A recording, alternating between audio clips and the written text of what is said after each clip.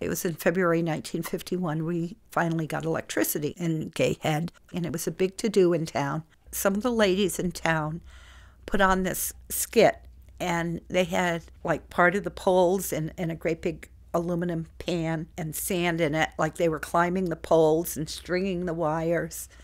And it, it was funny. I, I can vividly remember. It was a really nice production. It was wonderful to get electricity. My sister Judith and I were four and three at the time.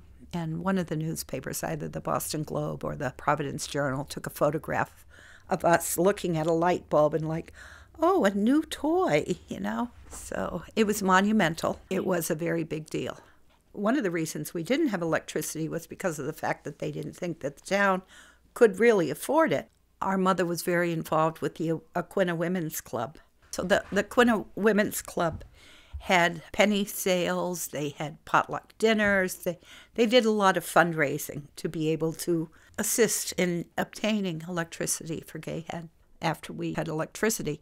What our grandfather did every morning was listen to the fish auction in New Bedford. You know how much they got paid for uh, each species of fish. It was it was a routine every morning.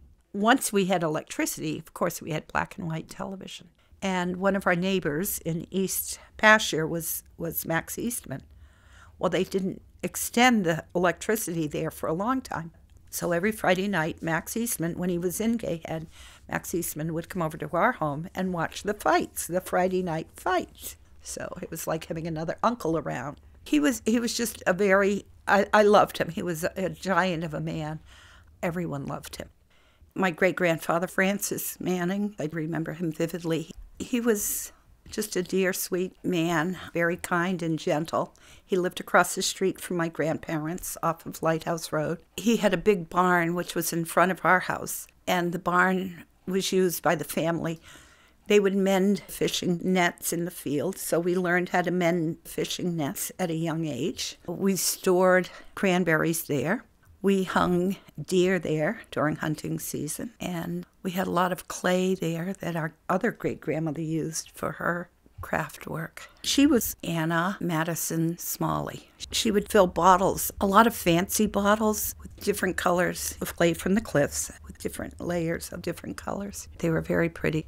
She braided rugs, she made potholders, she made yarn dolls, her beadwork, and her house around the dining room table. There was a bench, and it went around two sides of the room in the window. I loved going over there when I was little. It was all a family affair, and we would all sit there and work on things together. We helped her with everything sorting the clay, cutting the wool for the rugs, helping her braid with the beadwork.